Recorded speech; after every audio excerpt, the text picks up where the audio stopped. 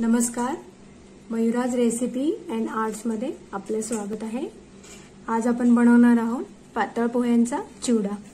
त्यासाठी आपण इथे अर्धा किलो पातळ पोहे घेतले.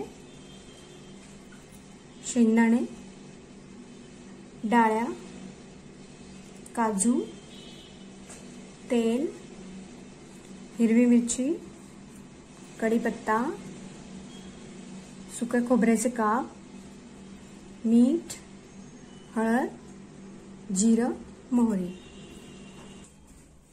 कढई गरम करत ठेवली आहे. त्यात एक मोठा चमचा तेल टाकते. तेल कढईत गरम झालेलं आहे. त्याच्यात आपण थोडीशी हळद टाकूया.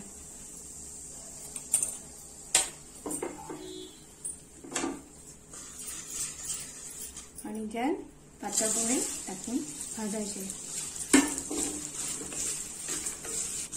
पोहे आपल्याला मंद आचेवर छान भाजून घ्यायचे आहे. पोहे असे छान कुरकुरीत होईपर्यंत परतायचे आहे. काही पोहे असे छान गुलाबीसर पण होतं आणि क्रंची पण होतात.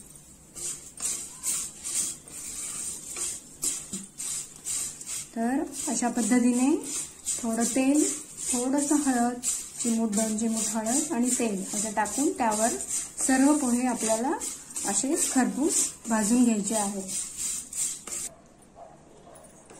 पोहे आपले सर्व भाजून झालेले आहेत. तर कढईत आपण तेल टाकूया.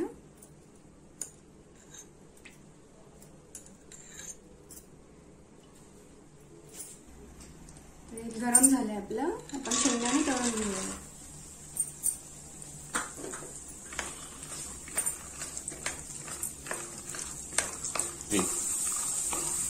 शेंगदाणे आपल्याला छान खरपूस तळून घ्यायचे आहे.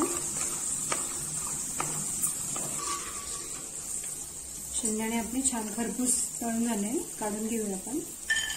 शेंगदाणे झाले. आता आता काजू तळून घेऊया आपण थोडी.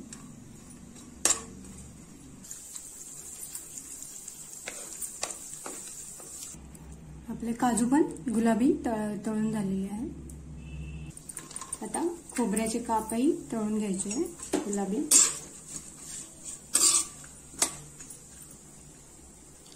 आपलं खोबरं पण छान गुलाबीसर आणि खरपूस तळून झालेलं आहे. आता डाळ्या छान भाजून घेऊ आपण.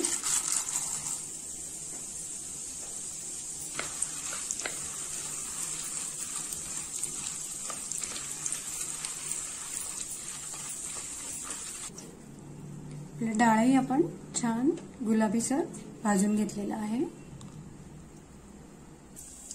आता आपण हिरवी मिरची टाकली आहे.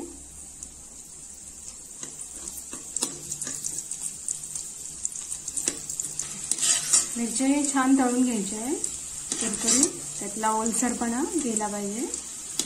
आता मिरच्या छान झाल्या तळून त्याच्यातच आपण कढीपत्ता टाकणार आहोत.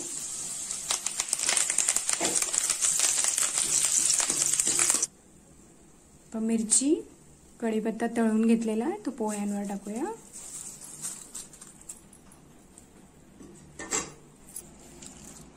शेंगदाणे खोबरं काजू तळून घेतलेले ते पण आपण आता पोह्यावर टाकले आहे.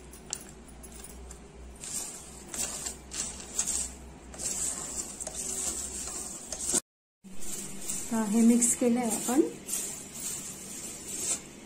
जे उरलेलं तेल आहे उरलेलं तेल आहे त्यात आपण मोहरी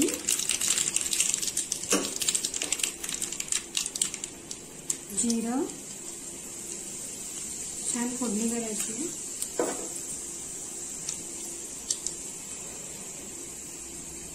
थोडी हळद.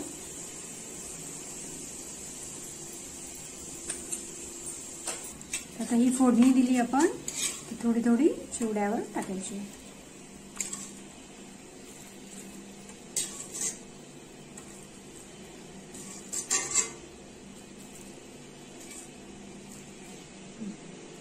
आपण पोहे भाजताना हळद टाकली आहे आणि फोडणीत पण थोडीशी हळद टाकलेली आहे. आता ज्या पोह्यांना हळद लागली नसेल त्याला पण लागेल. आणि फोडणी पण व्यवस्थित लागेल सगळीकडे. असं सर्व.